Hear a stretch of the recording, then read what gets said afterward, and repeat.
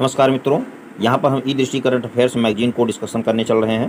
पूरी ई Drishti current affairs magazine को हम देखेंगे एक वीडियो में। पूरी ई Drishti current affairs magazine complete होगी और ये अगस्त महीने की घटनाओं को इसमें कुछ शामिल किया गया है और कुछ वहीं पर जो है इसमें जुलाई महीने की घटनाओं को भी इसमें शामिल किया गया है। जो महत्वपूर्ण है उन्हीं को देखेंगे। जैसे देखते हैं पहली न्यूज़ है कि 11 जून 2021 को संयुक्त राष्ट्र महासभा के पचहत्तरवें सत्र के दौरान अल्बानिया, ब्राज़ील, गैबॉन, घाना और संयुक्त अरब अमीरात सुरक्षा परिषद के पाँच नए अस्थायी सदस्य देश के रूप में चुने गए हैं। ठीक है, अब यहाँ पर थोड़ा सा सुरक्षा परिषद के बारे में समझिएगा। सुरक्षा परिषद में क्या होता है कि टोटल जो है वो पंद्रह सदस्य देश होते हैं और इस पंद्रह सदस्य देश में से क्या होते हैं? पाँच सदस्य जो सदस्य देश जो होते हैं वो अस्थायी होते हैं और दस जो होते हैं वो अस्थायी होते हैं। ठीक है तो इन दसों में से ये पाँच हैं, यहाँ पर ध्यान नाम ध्यान रखना है, अल्बानिया माने कि ए, ब्राज़ील मतलब कि बी, गैबोन का मतलब जी, और घाना का मतलब जी, और संयुक्त अरब अमीरात में से आप यू ले सकते हैं। तो ए, बी, और जी टू, और यू, है ना? ऐसे आप ट्रिक से याद कर सकते हैं। ए, बी, जी टू, और यू। तो ये देश हैं पाँचों। अच्छा उसके बाद में और भी जो अस्थायी देश हैं, वो देख लीजिए। इनमें कौन कौन है? भारत है, आयरलैंड है, केन्या है, मैक्सिको है, नॉर्वे है। और वहीं पर अस्थायी देशों की संख्या जो है पाँच है, जिसमें से चीन है, फ्रांस है, रूस, ब्रिटेन और अमेरिका है। तो ये पाँचों नाम आपको ध्यान में रखना है। और नेक्स्ट है कि तमिलनाडु की सरकार ने एक आर्थिक सलाहकार परिषद का गठन किया है। गठन इस उद्देश्य से किया है ताकि आर्थिक मामलों पर ये परिषद जो है वो मुख्यमंत्री को सलाह दे सके। तो यहाँ पर कौन कौन शामिल है इस परिषद में ये नाम ध्यान रखना है। जैसे एस्थर डुप्लो, जो कि आपको पता होगा, नोबेल पुरस्कार विजेता है। रघुराम राजन, अरविंद सुब्रमण्यम जीन द्रेज और डॉक्टर एस नारायण। तो ये आप नाम ध्यान रखिएगा और यहाँ पर इतना ही पूछा जा सकता है कि हाल ही में किस राज्य सरकार ने आर्थिक सलाहकार परिषद का गठन किया है तो उसका उत्तर हो जाएगा तमिलनाडु। और अगली न्यूज़ है कि दो औद्योगिक पार्क की स्थापना तमिलनाडु राज्य में 550 करोड़ रुपए के सहयोग से या 550 करोड़ रुपए के लागत से ईएसआर इंडिया लिमिटेड करने जा रही है। और यहाँ पर जो है ईएसआर इंडिया लिमिटेड कंपनी जो है, इसने तमिलनाडु राज्य के साथ में समझौता किया है। और उसके बाद में 11 जून 2021 को हमारे केंद्रीय स्वास्थ्य पर्यावरण परिवार कल्याण मंत्री जो हर्षवर्धन जी हैं। उन्होंने संयुक्त राष्ट्र महासभा के पचहत्तरवें सत्र को संबोधित करते हुए 2030 तक भारत से एचआईवी एड्स को जो है संपन्न मतलब एचआईवी एड्स को आ, समापन करने का एचआईवी एड्स के उन्मूलन करने का आ, की जो प्रतिबद्धता है उसको स्पष्ट किया है। तो यहाँ पर ध्यान ये रखना है कि 2030 तक भारत एच एड्स को ख़त्म करने की प्रतिबद्धता मतलब ख़त्म करने के लिए प्रतिबद्ध है। एक बात यहाँ पर और ध्यान आपको रखना है कि सनराइज परियोजना, ठीक है? ये क्या है? ये 2016 में उत्तर पूर्वी राज्यों में शुरू किया गया। उत्तर पूर्वी राज्यों का मतलब क्या है? ये जो अपने नॉर्थ ईस्ट वाले राज्य हैं, सेवन सिस्टर्स जिनको कहा जाता है, जैसे असम, नागालैंड, मेघालय, मिजोरम, त्रिपुरा, ये जो भी नॉर्थ ईस्ट के राज्य हैं और यहाँ पर जो है इन क्षेत्रों में एच को रोकने के लिए सनराइज परियोजना शुरू की गई थी, ठीक है? 2016 में इसको शुरू किया गया है।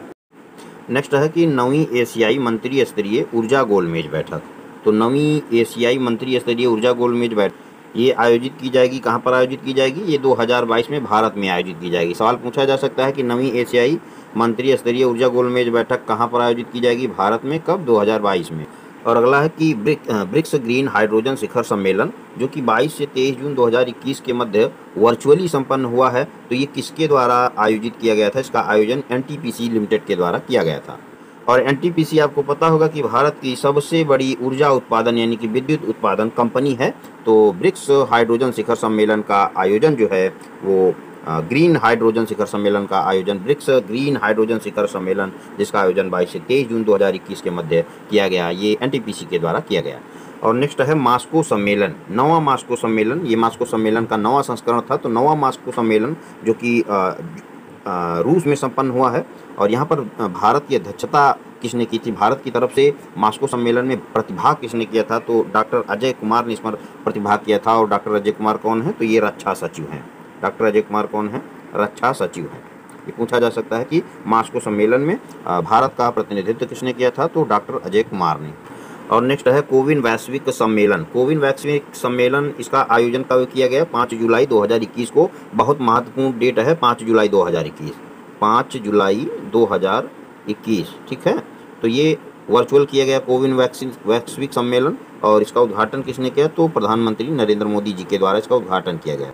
अब कुछ सवाल हम योजना परियोजना से देख लेते हैं, जो कि बहुत ही ज़्यादा महत्वपूर्ण है। पहला सवाल इसमें है कि देश का पहला ग्रीन हाइड्रोजन प्लांट, ये कहाँ स्थापित किया जा रहा है? मथुरा रिफाइनरी में। और किसके द्वारा? तो कंपनी, इस कंपनी का नाम है इंडियन ऑयल कारपोरेशन लिमिटेड, जो कि भारत की सबसे बड़ी तेल उत्पादन कंपनी है।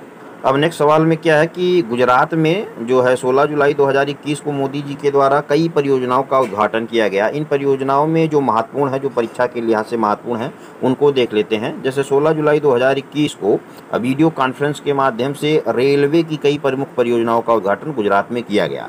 तो यहाँ पे सवाल पूछा जा सकता है कि हाल ही में आ, किस राज्य में रेलवे की कई प्रमुख परियोजनाओं का उद्घाटन मोदी जी के द्वारा किया गया?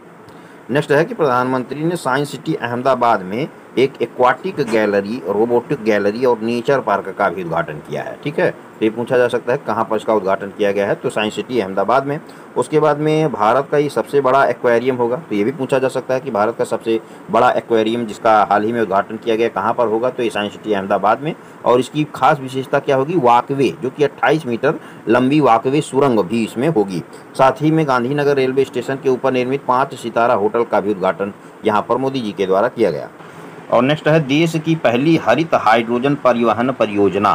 तो हरित हाइड्रोजन परिवहन परियोजना देश की पहली हरित हाइड्रोजन हरित परियोजना ये कहाँ पर स्थापित की जाएगी? तो लद्दाख के लेह में। तो अगर प्रश्न में विकल्प में लद्दाख हो तब भी सही हो जाएगा और लेह हो तब भी सही हो जाएगा। और यहाँ पर बता दें आपको ये परियोजना भी एनटीपीसी की एक सहायक कंपनी है जिसका नाम है आरईएल तो आरईएल के द्वारा इसको स्थापित किया जाएगा या यूँ कह लीजिए कि एनटीपीसी के द्वारा स्थापित किया जाएगा। कहाँ पर? तो लद्दाख के लेह में। उसके बाद में नेक्स्ट सवाल राजस्थान से है, जहाँ पर पूछा जा सकता है सवाल कि हाल ही में कर्मचारी कल्याण कोष का गठन करने वाला राज्य कौन है या कर्मचारी कल्याण कोष का गठन करने की मंजूरी किसने दिया है? तो राजस्थान राज्य सरकार ने ये मंजूरी प्रदान की है। करके है तो यहाँ पर 340 चर्चा में क्यों है? दरअसल अनुच्छेद 340 में प्रावधान है कि अन्य पिछड़ा वर्ग के लोगों की दशाओं में अन्वेषण के लिए एक आयोग के गठन का प्रावधान है। तो इसलिए अनुच्छेद 340 को आधार मानते हुए 2 अक्टूबर 2017 को न्यायमूर्ति जी रोहिणी की अध्यक्षता में एक आयोग का गठन किया गया। उसका कार्य ये था कि जो ओबीसी समुदाय है, उसके तहत एक सब कैटेगरी बनाई जाए, उपवर्गीकरण किया जाए, ताकि ओबीसी कैटेगरी में जो लोग आरक्षण का ज़्यादा लाभ ले रहे हैं ठीक है, जो लोग वंचित रह जा रहे हैं, जो लोग वंचित रह जा रहे हैं, उनको आरक्षण का लाभ मिले। जो लोग ज़्यादा आरक्षण का लाभ ले चुके हैं, उनको एक प्रकार से जो है किनारे किया जा सके, एक प्रकार से हटाया जा सके एलिमिनेट किया जा सके। तो यहाँ पर 340 के तहत ये जो आयोग का गठन किया गया था, उसके कार्यकाल को बढ़ा दिया गया है और वो आगे चल करके छः महीने तक के लिए बढ़ा दिया गया है। तो यहाँ पर जो सवाल पूछा जा सकता है कि ये पूछा जा सकता है कि ओबीसी के लिए एक आयोग के गठन का प्रावधान संविधान के किस अनुच्छेद में है? तो ये अनुच्छेद 340 में है। और पूछा जा सकता है कि किसकी अध्यक्षता में 2007 2 अक्टूबर 2017 को आयोग का गठन किया गया था? तो जस्टिस जी रोहिणी की अध्यक्षता में ये आयोग का गठन किया गया था। और नेक्स्ट है कि 6 जुलाई 2000 6 से 9 जुलाई 2021 के मध्य किसकी अध्यक्षता में गठित परिसीमन आयोग केंद्र शासित प्रदेश जम्मू और कश्मीर के दौरे पर गया? तो यहाँ पर पूछा जा रहा है कि परिसीमन आयोग, जिसने हाल ही में जम्मू कश्मीर का दौरा किया है उसका गठन किसकी अध्यक्षता में किया गया है? तो न्यायमूर्ति रंजना प्रकाश देसाई की अध्यक्षता में इसका गठन किया गया है। और गठन कब किया गया था? तो ये गठन किया गया था मार्च 2020 में।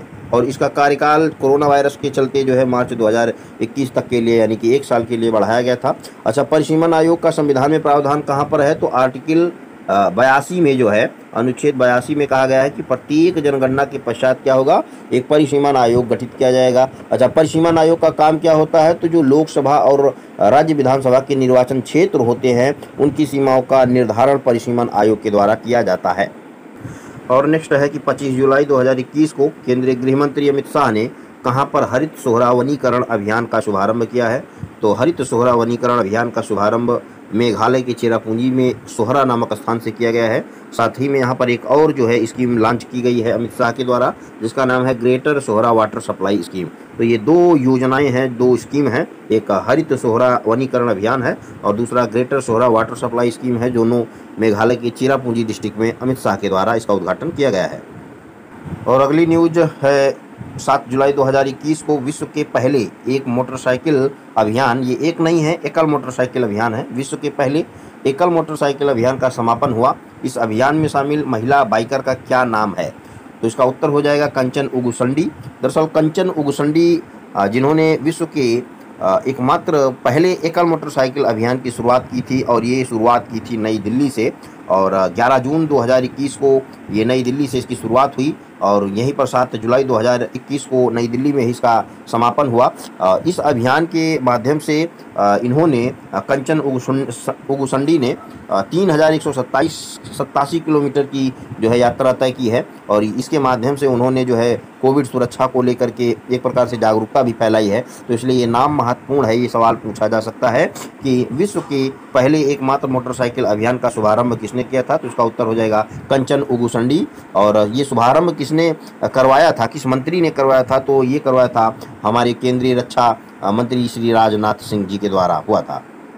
नेक्स्ट है कि जून 2021 में भारतीय नौसेना के युद्धपोत एवं दक्षिण कोरियाई पोत के साथ सैन्य अभ्यास कहाँ आयोजित किया गया?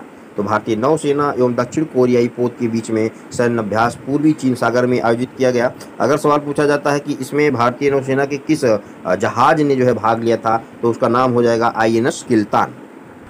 अगला है कि 18 से 19 जून 2021 के मध्य भारत और यूरोपीय संघ के मध्य कहाँ पर संयुक्त नौसैनिक युद्धाभ्यास हुआ है? तो ये युद्धाभ्यास हुआ है अदन की खाड़ी में। यहाँ पर जो है ध्यान रखना है कि ये नौसैनिक युद्धाभ्यास है जो कि 18 से 19 जून के बीच में हुआ है और भारत और यूरोपीय संघ के बीच में हुआ है। कहाँ पर हुआ है? तो ये अदन की खाड़ी में हुआ है। अगला है कि 15 जुलाई 2021 को मत्स्य उद्योग से जुड़ी सब्सिडी वार्ता के बारे में विश्व व्यापार संगठन की मंत्री स्तरीय बैठक वर्चुअली हुई। बैठक में भारत का प्रतिनिधित्व तो किसने किया? तो यहाँ पर विषय ध्यान रखिएगा, ये मत्स्य उद्योग में सब्सिडी का जो मुद्दा है, उससे जुड़ी बैठक थी। तो यहाँ पर बैठक में भारत का जो प्रतिनिधित्व किया है, वो क्या है? पीयूष गोयल ने किया है। और यहाँ पर डब्ल्यू की जो है महानिदेशक कौन है? तो महानिदेशक है नगोजी ओंकोजो एवियला और नेक्स्ट है कि 17 मई 2021 को किस राज्य में विधान परिषद के गठन का निर्णय लिया गया? तो इसका उत्तर हो जाएगा पश्चिम बंगाल। पश्चिम बंगाल में विधान परिषद के गठन का निर्णय लिया गया है। यहाँ पर हम विधान परिषद से जुड़े हुए दो आर्टिकल देखेंगे, संविधान के दो अनुच्छेद देखेंगे। एक अनुच्छेद एक वन सिक्स नाइन, एक सौ उनहत्तर, जिसमें विधान परिषद के गठन का प्रावधान किया गया है और ये गठन का, की ज़िम्मेदारी संसद को सौंपी गई है। बताया गया है कि संसद विधि द्वारा राज्य में विधान परिषद का उत्साजन कर सकती है उसका सृजन कर सकती है अथवा उसको समाप्त कर सकती है। और वहीं पर अगर हम विधान परिषद की संरचना की बात करें तो ये संविधान के अनुच्छेद एक सौ इकहत्तर में आ, किया गया है। यानी कि संविधान के अनुच्छेद एक सौ इकहत्तर में विधान परिषद की संरचना से संबंधित उपबंध किया गया है और गठन से संबंधित जो उपबंध किया गया है संविधान के अनुच्छेद वन में किया गया है। एक बात यहाँ पर ये ध्यान रखना है कि वर्तमान में छः राज्यों में विधान परिषद है, जिसमें पहला आंध्र प्रदेश, दूसरा महाराष्ट्र, तीसरा बिहार, कर्नाटक, तेलंगाना, उत्तर प्रदेश में है और साथ ही में अभी पश्चिम बंगाल में भी हो जाएगा तो टोटल राज्यों की संख्या सात हो जाएगी। और अगली न्यूज़ ग्रेट बैरियर रीफ को लेकर के है। ग्रेट बैरियर रीफ दरअसल क्यों चर्चा में है, इसको पहले समझना जान ज़रूरी है। जून 2021 में यूनेस्को ने ग्रेट बैरियर रीफ को विश्व धरोहर स्थलों की एक सूची है, खतरे की सूची। तो उस खतरे की सूची में शामिल करने की सिफारिश की है। ठीक है, वर्ष उन्नीस सौ इक्यासी में विश्व धरोहर स्थल की सूची में इसको शामिल किया गया था, ग्रेट बैरियर रीफ को, और अब इसको यूनेस्को ने सिफारिश किया है कि इसको खतरे की सूची में शामिल किया जाए, क्योंकि जलवायु परिवर्तन का खतरा इस पर बढ़ रहा है। उसके बाद में ये ग्रेट बैरियर रीफ कहाँ पर है? तो ऑस्ट्रेलिया के उत्तर पूर्वी तट के समानांतर ये फैली हुई है।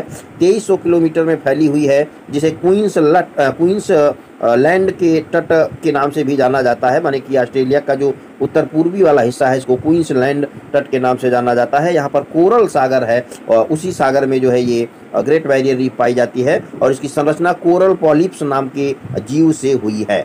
देखिए, यहाँ पर कई सवाल बन रहे हैं। एक तो ग्रेट बैरियर रीफ को हाल ही में यूनेस्को द्वारा किस सूची में शामिल करने की सिफारिश की गई है तो इसका उत्तर हो जाएगा खतरे की सूची। कहाँ पर है? तो ऑस्ट्रेलिया के उत्तर पूर्वी तट के समांतर फैली हुई है, जिसे क्वींसलैंड के तट के नाम से भी जाना जाता है, और किस सागर में है? तो कोरल सागर में है। इसकी संरचना किससे हुई है? कोरल पॉलिप्स नाम के जीव से हुई है। नेक्स्ट एक सेंटर है, जिसका नाम है international cooperation and convention centre Rudraksh. इसका उद्घाटन पीएम मोदी जी के द्वारा किया गया है और कहाँ पर किया गया है? तो ये वाराणसी में किया गया है। हाल ही में वाराणसी में इसका उद्घाटन किया गया है। एक सवाल ये भी पूछा जा सकता है कि इसका निर्माण किसकी सहायता से किया गया है? किस देश की सहायता से किया गया है? तो इसका निर्माण जापान की सहायता से किया गया है। और अगला क्वेश्चन है कि सरल पेंशन योजना। ये पूछा जा सकता है कि सरल पेंशन योजना किसके द्वारा शुरू की गई है? तो ध्यान रखना है कि ये शुरू की गई है एल आई सी यानी कि भारतीय जीवन बीमा निगम के द्वारा शुरू की गई है। जिसकी शुरुआत 1 जुलाई 2021 को भारतीय जीवन बीमा निगम के द्वारा की गई। और नेक्स्ट क्या है? नेक्स्ट देखते हैं कि हिस्टोरिक अर्बन लैंडस्केप ये है क्या? दरअसल हिस्टोरिक अर्बन लैंडस्केप एक परियोजना है। क्या है? परियोजना है। और इसका शुरुआत जो है किसके द्वारा किया गया था? तो 2011 में यूनेस्को जो है, यूनेस्को के द्वारा इसकी शुरुआत की गई थी। यहाँ पर देख सकते हैं कि यूनेस्को द्वारा हिस्टोरिक अर्बन लैंडस्केप परियोजना का शुभारंभ वर्ष 2011 में किया गया था। तो हाल ही में मध्य प्रदेश के दो नगर हैं, जिसमें से एक का नाम ग्वालियर है, दूसरे का नाम ओरछा है। इन दोनों को मुख्यमंत्री शिवराज सिंह चौहान के द्वारा हिस्टोरिक अर्बन लैंडस्केप श्रेणी में शामिल किया गया है।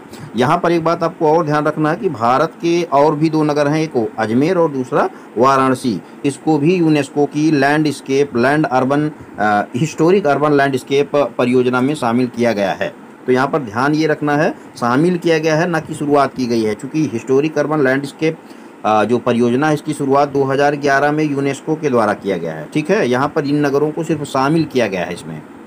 और नेक्स्ट है कि मुख्यमंत्री महालक्ष्मी योजना, ये किस राज्य की पहल है? ये उत्तराखंड राज्य सरकार की पहल है, और वहाँ के जो मुख्यमंत्री हैं, पुष्कर सिंह धामी, उन्होंने मुख्यमंत्री महालक्ष्मी योजना की शुरुआत की है। अगला है तेलंगाना दलित बंधु योजना। ये है क्या? दरअसल तेलंगाना दलित बंधु योजना जो दलित कम्युनिटी के लोग हैं, दलित वर्ग के लोग हैं, उनके सशक्तिकरण से संबंधित है। उनको वित्तीय सहायता दस लाख रुपए तक की वित्तीय सहायता इसमें दिए जाने का प्रावधान है और इसका शुभारंभ मुख्यमंत्री के चंद्रशेखर राव के द्वारा किया गया है। तो यहाँ पर इतना सब बात ध्यान रखना है। तेलंगाना दलित बंधु योजना जो कि दलितों के सशक्तिकरण से संबंधित है। और नेक्स्ट है राष्ट्रीय आयुष मिशन। क्या है राष्ट्रीय आयुष मिशन? दरअसल राष्ट्रीय आयुष मिशन एक केंद्र प्रायोजित योजना है जिसका उद्देश्य लोगों को आयुष सुविधाएँ प्रदान करवाना है। ठीक है? तो इसकी तिथि इसकी जो आ, आ, क्या कहते हैं तिथि थी वो एक अप्रैल 2021 से 31 मार्च 2026 तक के लिए इसकी जो अवधि थी समझ रहे हैं? इसकी अवधि को बढ़ा दिया गया है। कब से कब तक? एक अप्रैल 2021 से 31 मार्च 2026 तक के लिए इसकी अवधि को बढ़ा दिया गया है। और वहीं पर अगर ये पूछा जाए कि राष्ट्रीय आयुष मिशन की शुरुआत कब की गई थी तो 15 सितंबर 2014 को उसकी शुरुआत की गई थी। एक केंद्र प्रायोजित योजना है। केंद्र प्रायोजित योजना का मतलब ये है कि योजना का प्रारंभ जो है केंद्र सरकार के द्वारा किया गया है। और अगला है फोर्टिफाइड चावल वितरण की पायलट योजना। तो ये पायलट योजना को मध्य प्रदेश सरकार ने अपने सिंगरौली ज़िले से शुरू किया है, जिसमें पीडीएस के ज़रिए फोर्टिफाइड चावल का वितरण किया जाएगा। और इससे फ़ायदा क्या होगा? तो इससे एनीमिया और कुपोषण जैसी गंभीर बीमारियों से निपटने में सहायता मिलेगी। योजना 2022 से 2023 तक संचालित होगी। यहाँ पर इतना ध्यान रखना है कि फोर्टिफाइड चावल वितरण की पायलट योजना किस सरकार की पहल है तो मध्य प्रदेश सरकार की पहल है। अगला है क्लाउड आधारित स्वास्थ्य सेवा परियोजना। ये किस सरकार की पहल है? तो ये पहल है दिल्ली सरकार की। दिल्ली के मुख्यमंत्री अरविंद केजरीवाल ने मार्च 2022 तक, ये भी ध्यान रखना है कब तक? मार्च 2022 तक क्लाउड आधारित स्वास्थ्य सेवा परियोजना की शुरुआत करने की घोषणा की है। और नेक्स्ट है कि छात्र क्रेडिट कार्ड योजना। तो ये ये योजना जो है पश्चिम बंगाल के द्वारा की गई है जून 2021 में। इसमें 10 लाख रुपए तक का जो विद्यार्थी होंगे, वो अपने उच्च शिक्षा के अध्ययन के लिए ऋण ले सकते हैं। लेकिन इससे पहले आपको बता दें कि इसके पहले बिहार जो है दो अक्टूबर दो हज़ार सोलह को, दो हज़ार सोलह को उसने भी छात्र क्रेडिट कार्ड योजना की शुरुआत की है। कहने का मतलब यह है कि मौके पर छात्र क्रेडिट कार्ड योजना दो राज्यों में चल रही है। एक तो आपका बिहार है, दूसरा पश्चिम बंगाल है। और नेक्स्ट है कि बैहतन जल विद्युत संयंत्र बैहतन जल विद्युत संयंत्र कहाँ पर है? चीन में है जींसा नदी पर है। ये पूछा जा सकता है बैहतन जल विद्युत संयंत्र कहाँ पर है, किस देश में स्थित है? तो ये चाइना में स्थित है, चीन में स्थित है। नेक्स्ट है कि उत्तर प्रदेश सरकार द्वारा वर्ष 2021-22 में कितनी संख्या में पौधरोपण का लक्ष्य निर्धारित किया गया है? तो ये पौधरोपण का जो लक्ष्य है, वो तीस करोड़ पौधरोपण का लक्ष्य निर्धारित किया गया है किस सरकार के द्वारा? उत्तर प्रदेश सरकार के द्वारा 2021-22 में। ठीक है? तो उसकी अवधि क्या है? 2021-22 और 30 करोड़ और कौन सा सरकार है? कौन सा राज्य है? उत्तर प्रदेश। और नेक्स्ट देखते हैं। नेक्स्ट है सिल्वर लाइन परियोजना। तो ये सिल्वर लाइन परियोजना है क्या? एक semi high speed railway project है, जिसका शुरू करने की जो घोषणा है, जिसकी शुरुआत केरल सरकार के द्वारा की गई है, सवाल पूछा जाएगा कि सिल्वर पाइपलाइन, सिल्वर लाइन परियोजना किस राज्य सरकार की पहल है? केरल सरकार, राज्य सरकार की पहल है, जिसमें semi high speed railway project को तैयार किया जाएगा। एक बात यहाँ पर और आपको जानना महत्वपूर्ण है कि हाल ही में भारत का कौन सा राज्य रेलवे मानचित्र में शामिल हुआ है, जहाँ पर रेलवे लाइन बिछाई गई है तो उसका उत्तर हो जाएगा मणिपुर। क्योंकि मणिपुर में मणिपुर में क्या था कि अभी तक रेलवे लाइन नहीं थी तो अब मणिपुर में रेलवे लाइन हो चुकी है तो ये सवाल भी महत्वपूर्ण है। उसके बाद में बिहार सरकार की दो योजनाएँ महत्वपूर्ण है, जिसमें से एक है मुख्यमंत्री महिला उद्यमी योजना और दूसरा है मुख्यमंत्री युवा उद्यमी योजना। पूछा जा सकता है कि मुख्यमंत्री युवा उद्यमी योजना किस सरकार के द्वारा प्रारंभ किया गया है? तो बिहार के द्वारा इसको शुरुआत की गई है। उसके बाद में मुख्यमंत्री महिला उद्यमी योजना भी बिहार राज्य सरकार के द्वारा ही शुरुआत की गई है। बिहार के मुख्यमंत्री नीतीश कुमार हैं और इन्होंने ही वीडियो कॉन्फ्रेंसिंग के माध्यम से इन दोनों योजनाओं का शुभारंभ किया है। और अगला है हेब्बल नागवाड़ा घाटी परियोजना। ये कर्नाटक राज्य सरकार की पहल है। और नेक्स्ट है कि घर घर औषधि योजना किस राज्य सरकार की पहल है? तो ये राजस्थान राज्य सरकार की पहल है।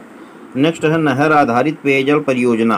तो इस परियोजना की शुरुआत जो है वो पंजाब में की जाएगी तीन सौ तीन सौ मिलियन अमरीकी डॉलर की सहायता से। और यहाँ पर आपको एक बात ध्यान में ये रखना है कि यहाँ पर विश्व बैंक और एशियाई अवसंरचना निवेश बैंक और प्लस पंजाब सरकार। इन तीनों ने मिलकर के इस परियोजना की शुरुआत की है, माने कि नहर आधारित पेयजल परियोजना की शुरुआत की है। अगला है गोपा बंधु गोपा बंधु साम्यवादिका स्वास्थ्य बीमा योजना। ये उड़ीसा सरकार की पहल है, जिसमें कोविड 19 के समय में जो भी पत्रकार, जिन पत्रकारों की जान चली गई थी, उनके लिए गोपा बंधु साम्यवादिका स्वास्थ्य बीमा योजना है। और नेक्स्ट है कि स्वामित्व योजना, ये स्वामित्व योजना केंद्र प्रायोजित योजना है। इसकी शुरुआत 24 अप्रैल 2021 को प्रधानमंत्री नरेंद्र मोदी जी के द्वारा किया गया। 24 अप्रैल को इसलिए किया किया गया क्योंकि इसी दिन पंचायती, राष्ट्रीय पंचायती राज दिवस मनाया जाता है। एक सवाल यहाँ पर पूछा जा सकता है कि स्वामित्व योजना का नोडल मंत्रालय कौन है? तो इसका नोडल मंत्रालय है जो है पंचायती राज विभाग, जो पंचायती राज मंत्रालय है, वही नोडल मंत्रालय है। अभी चर्चा में इसलिए है क्योंकि 4 मई 2021 को नरेंद्र नरेंद्र सिंह तोमर, जो कि पंचायती राज मंत्री हैं, उन्होंने स्वामित्व योजना को राष्ट्रव्यापी स्तर पर लागू करने के लिए एक नया फ्रेमवर्क जारी किया। दरअसल इससे पहले पंचायती राज मंत्रालय की ये जो योजना है जिसका नाम है स्वामित्व योजना, इसको सिर्फ़ और सिर्फ़ नौ राज्यों में ही इसको पायलट पर योजना के पायलट परियोजना के तहत पर इसको लागू किया गया था। तो अब इसको राष्ट्र स्तर पर पूरे मतलब भारत में इसको लागू किया जाएगा। नेक्स्ट है वैद्य आपके द्वार योजना, जो कि मध्य प्रदेश सरकार की पहल है। और अगला है आशीर्वाद योजना। आशीर्वाद योजना उड़ीसा सरकार की पहल है, जिसमें कोविड नाइन्टीन के समय में जो भी बच्चे अनाथ हो गए हैं तो उनकी शिक्षा और उनके स्वास्थ्य, उनके रखरखाव के लिए आशीर्वाद योजना उड़ीसा सरकार के द्वारा शुरू किया गया है। वहीं कृषि विविधीकरण योजना 2021 इसकी शुरुआत गुजरात राज्य सरकार के द्वारा की गई है। आदिवासी क्षेत्रों में जो किसान हैं, उनको लाभ पहुँचाया जाएगा कृषि विविधीकरण योजना के माध्यम से। और अगला है कि टैक्स इंस्पेक्टर्स विदाउट बॉर्डर्स ये कार्यक्रम शुरू किया गया है भूटान में। और भूटान के कर प्रशासन से संबंधित एक जो है ये एक कार्यक्रम है, जिसमें संयुक्त राष्ट्र विकास परिषद, संयुक्त राष्ट्र विकास कार्यक्रम और आर्थिक सहयोग और विकास संगठन दोनों ने मिलकर के प्रतिभाग किया है। तो यहाँ पर इतना ध्यान रखिएगा कि टैक्स इंस्पेक्टर विदाउट बॉर्डर्स ये किस देश की पहल है तो भूटान की पहल है। नेक्स्ट है परियोजना बोल्ड। परियोजना बोल्ड है क्या? तो ये दरअसल खादी और ग्राम उद्योग आयोग की पहल है। राजस्थान के उदयपुर ज़िले में मरुस्थलीकरण को कम करने के लिए इस परियोजना की शुरुआत की गई है। और अगला है मुख्यमंत्री कोविड नाइन्टीन परिवार आर्थिक सहायता योजना। तो ये किस राज्य की पहल है? ये पहल है दिल्ली राज्य की।